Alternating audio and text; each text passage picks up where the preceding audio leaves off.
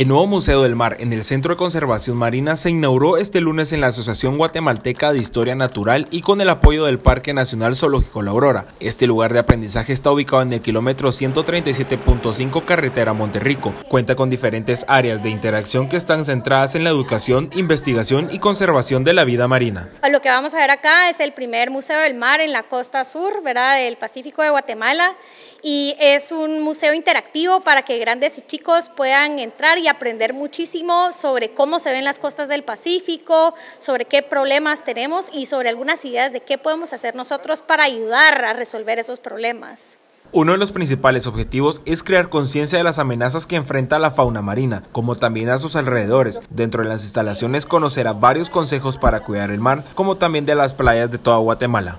Para nosotros esto es como un vehículo muy importante para que tanto los turistas como los locales puedan aprender más sobre la gran biodiversidad que tenemos en la costa sur de nuestro país y que vayan aprendiendo y vayan amando tanto toda la flora y fauna que hay, que con ese amor quieran conservarla y protegerla. Además del museo, las personas que lleguen a conocerlo podrán también tener la experiencia de la reserva de varios animales acuáticos como las tortugas de Parlama, diferentes peces y su conservación. Con imágenes de Elmer Vargas reportó para Noticiero Guatevisión, Fernando Cabrera.